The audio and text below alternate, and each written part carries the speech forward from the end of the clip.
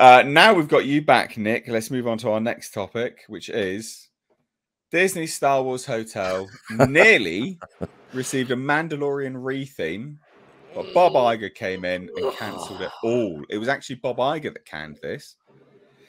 So they were brainstorming how to, you know, make this a success, and he's the one that came in and shit canned it all, like absolutely all of it. So basically, you know, it's closing. TheWrap uh, reports that the project likely cost Disney upwards of one billion, uh, and there were even tentative plans to open additional Starcruisers in Anaheim, Paris, and Tokyo ridiculous, but okay. Uh, cast members working in the hotel didn't learn of the sudden closure until the news broke in the media. And insiders believe former Disney CEO Bob Chapek, who remains an unpopular figure among Disney fans, no, he doesn't, is largely to blame for its failings. That's what BS. BS. Yeah. He says his decision to streamline many of Galaxy's Edge features as a cost cutting measure resulted in them being incorporated into this hotel, hence why they didn't work particularly well in their new home. Chapek was also keen to bring more wealthy guests to the Disney parks after the pandemic, explaining the high admission fee and increases in everything from regular ticket prices to Genie Plus replacing FastPass. Now, they said this, right? A trade anyway. Uh, an insider tells um, TheWrap. One, uh, once you went through the one percenters who could afford it and the fanatical Star Wars fans who would sell their mother to do it, you were done. No one connected to this came off well. So before returning, Disney CEO Bob Iger made the decision to close the hotel's doors. A number of ideas were thrown around. Among them were tours of the facilities that would have given access to the bar, dinner show, and gift shop for the additional charge.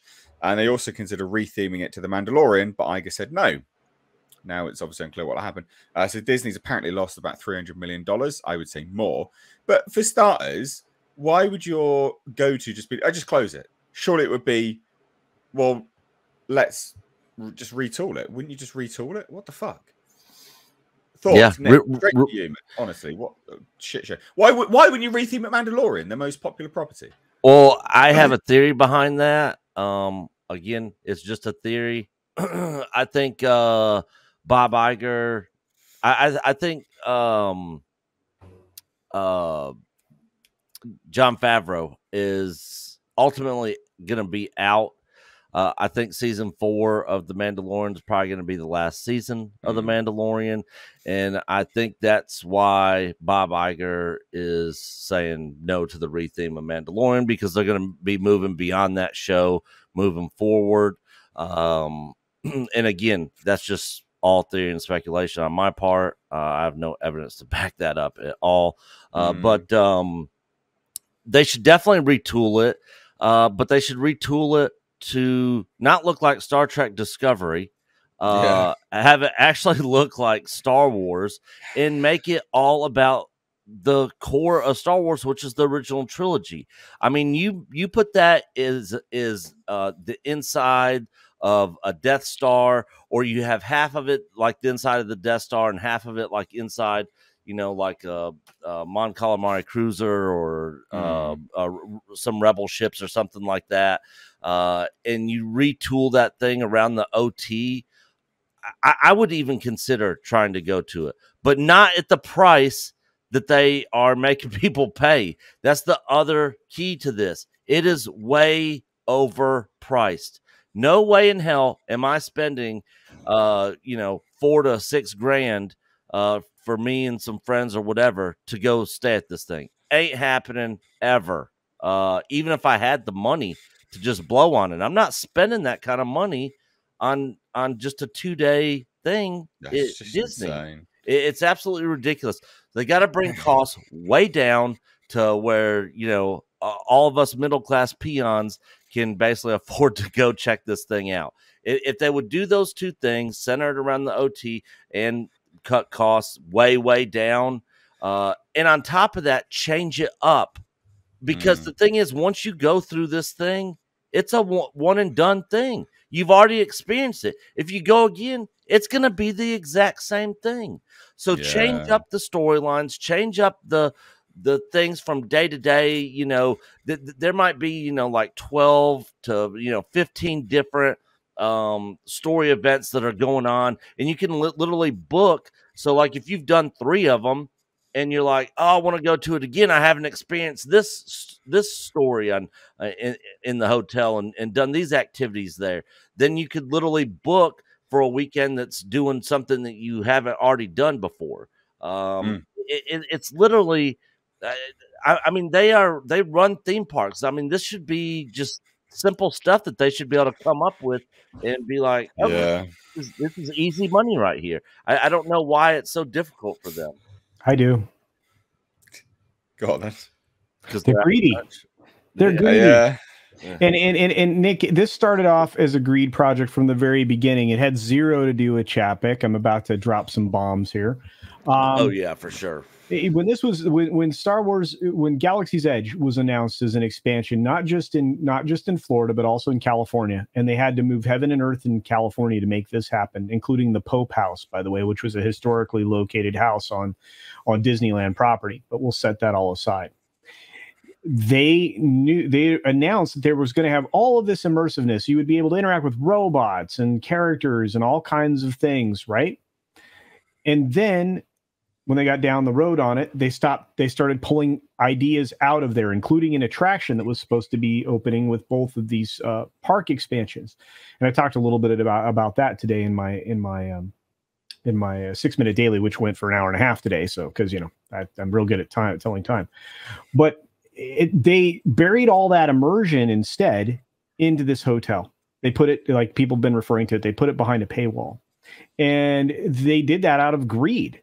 And when they talk about the fact that they're not, you know, that this was Chapek's fault, no, all of these greed surveys were happening all the way back in 2013 when they were in the midst of, of the NGE project. They were seeing how they could entice people of higher income levels and target those folks via their surveys. They when you get a customer survey from Disney, one of the demographic questions that's involved is your earnings. They want to know mm. how much money you make and they want to know how many times a year do you visit Disney properties. And they they they even by the way, they even prior to getting ESPN involved in gambling, they were even looking at that in front of it um, for quite some period of time, four or five years, because they saw what was happening in online gambling, and they wanted to make to, to, make sure that they could get away with running shows on ESPN that would be in support of that.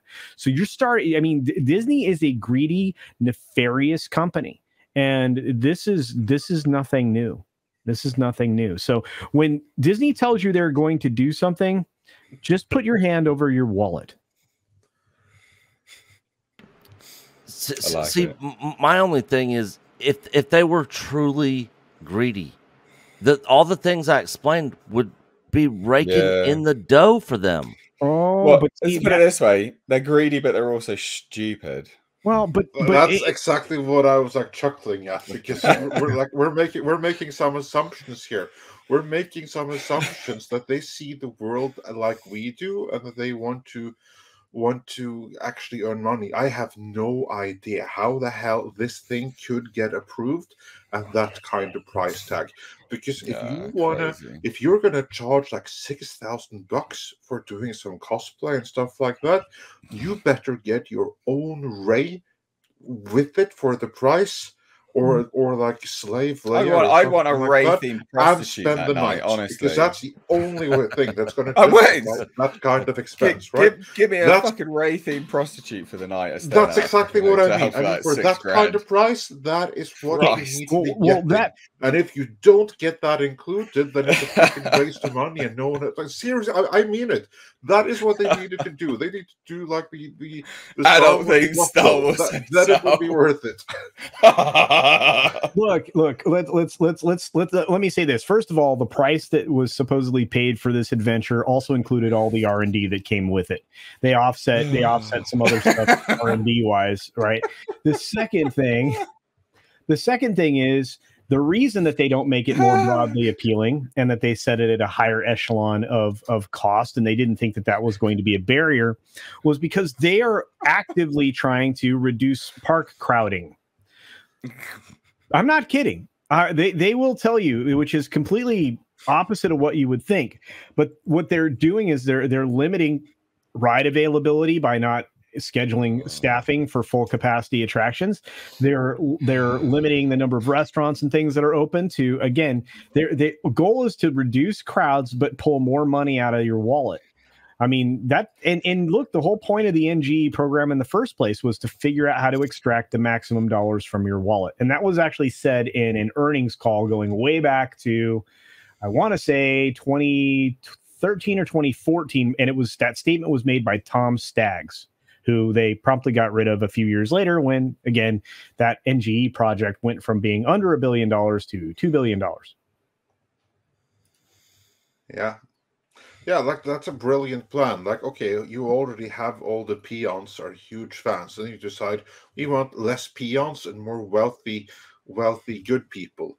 Uh, so that's our plan. We're going to do something that will appeal only to the hyper rich. But the problem is that the hyper rich they have more fun ways of spending six thousand dollars than LARPing for a night. And you see, that's we're getting back to that. That those that can afford to spend six thousand on a night for that kind of hotel, for that six thousand, they can get a hell, uh, hell of a lot more worth out of that money elsewhere.